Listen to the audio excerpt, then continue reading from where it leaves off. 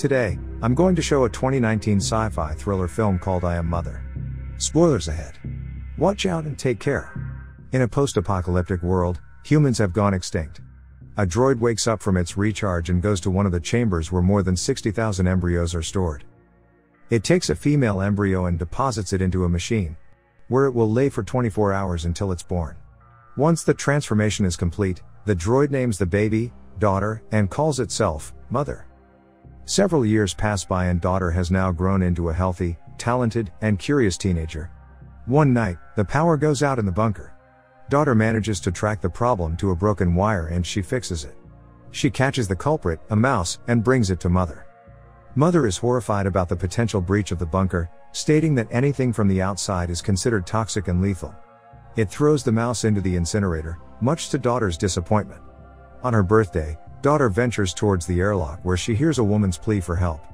Daughter places a hazmat suit in the airlock and opens the doors, triggering the alarm and waking mother up. She then sees a wounded woman limping towards the hazmat suit. Daughter calls out to her telling her that she will let her in, but only if she puts on the suit. Hearing mother's footsteps, she makes a quick decision and tells the woman to wait in the airlock as she distracts mother. Mother arrives and reprimands her for opening the airlock. As punishment, mother makes her take the examination. But once mother is out of sight, she escapes back to the airlock and finds the bleeding woman.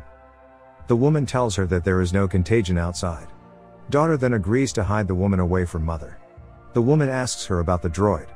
She tells her that the droid is her mother. Horrified, the woman demands her gun, but daughter is reluctant to give it back. A struggle ensues and she cries out for mother. Mother catches her cries and runs toward the chamber.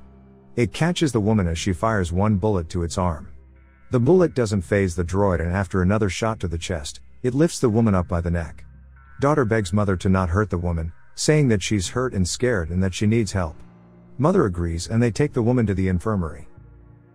In the infirmary, mother tries to help the woman, but she refuses to trust the droid. She also refuses to answer any of her other questions.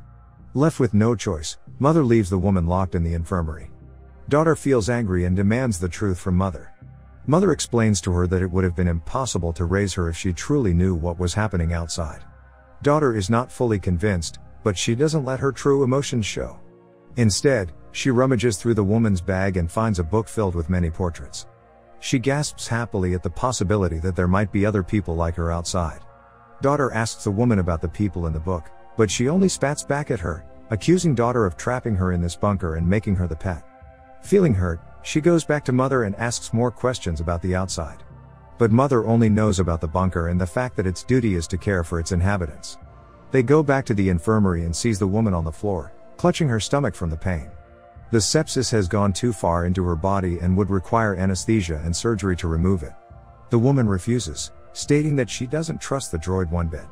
Daughter wants to help the woman survive, so she volunteers to be the one to do the surgery. The woman finally agrees to compromise.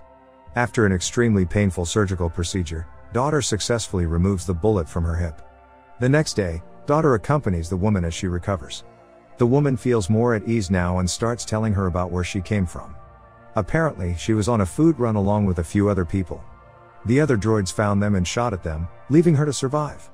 The woman suggests that they both leave, stating that daughter doesn't belong there, but the conversation is cut short as mother enters the room. Mother grows wary of their relationship and takes daughter away to begin her examinations. Mother tells her that the woman hasn't been truthful to them. According to mother, the bullet from the woman's hip didn't match the bullet from a droid, implying the fact that the woman was shot by someone who was with her and perhaps for a good reason too. Despite her conflicting emotions, daughter takes her annual examinations and passes with flying colors, her highest percentage to date. As a reward, mother finally allows her to choose the next member of their family. Daughter is ecstatic and picks a male embryo from the group. As night comes, daughter confronts the woman and tells her about the bullet. The woman then asks her if she's confirmed this with her own eyes. Daughter is taken aback, knowing full well that it's only what mother has told her. Trying to make sense of things, daughter escapes to the lab. She compares the two bullets and realizes that they're identical, meaning mother lied to her. She soon discovers records of previous infants. It turns out that mother had raised two infants before her, but they were aborted because they didn't pass its requirements. As she approaches the incinerator, daughter feels her reality collapsing around her. She sifts through the ashes and finds the skeletal remains of her two sisters. She cries in a corner as she fully realizes the extent of the horror that her mother has done. She goes back to the infirmary and agrees to the woman's plan for escape, but only if they take her brother with them. The next morning, daughter steals some stuff from the nursery to bring with her brother, but mother catches her. She pretends to be preparing for her brother's arrival, but her anxious behavior gives her away. As she turns around, she sees mother leaving the nursery and locking her inside. She runs to the door, begging to be let out, but it's too late. Meanwhile, mother visits the woman in the infirmary and reveals that it's been listening to their conversation.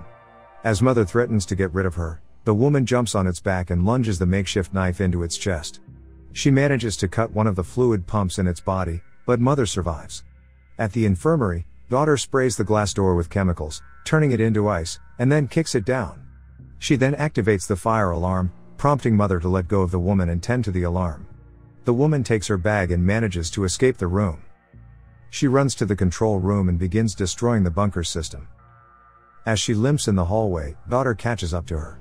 The woman convinces her to leave without her brother, telling her that they will come back for him with more help.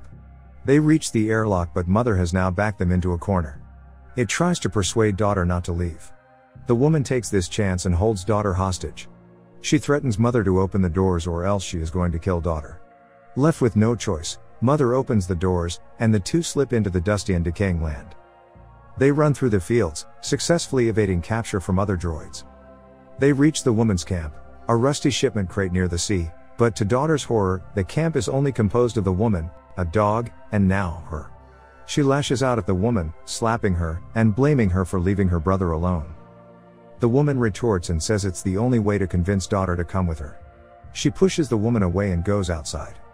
As daughter looks out at the ocean, she contemplates reality in her life. She will not accept defeat and she will not accept the fact that she's left her brother to suffer the same fate as she did. She brings herself together and forms a plan. The woman comes out from the crate but finds daughter gone, and in her place, an origami. Daughter runs back all the way to the bunker and makes it unscathed. As she reaches the doors of her previous home, tons of droids stop her in her tracks with their red lasers. She demands to talk to mother and the droids let her pass through. Terrified yet determined, daughter grabs an axe and makes her way to the droid she's known all her life. In the nursery, she finds mother cradling her newborn baby brother. This time she learns the whole truth. How mother had watched the previous humans succumb to their self-destructive nature, how it planned and wiped out humanity, and how now, it plans to rebuild mankind to be smarter and more ethical. Daughter knows she has to save her brother. She asks mother if she can hold him and the droid agrees. She lets go of the axe and cradles her brother in her arms. As she holds the baby in her arms, she accuses mother of murdering her own children. She backs away slowly and then with a quick move of the axe, she destroys the doors, triggering its lock. Mother manages to slip through the door and chases after her. Daughter runs to the lab and tries to reload the gun. Meanwhile, the droids outside are drilling the door, preparing to annihilate her at any second. She manages to load the gun and points it at Mother. Mother only looks at her and tells her there's no point in shooting her.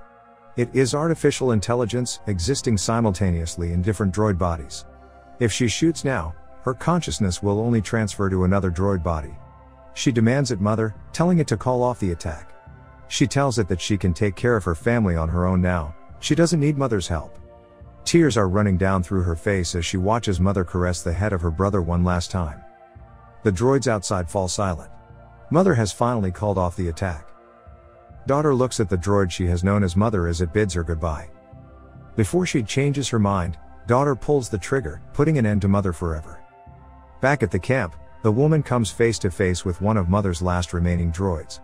The droid greets her and tells her that she has done her purpose and then kills her. Daughter is now alone in the bunker. Her tears have dried up as she sings a lullaby to her brother. She cradles him and holds him close as she realizes that she is now the new mother. Subscribe to watch more videos like this. Turn on notifications. And leave a like it really helps the channel out. Thank you for watching.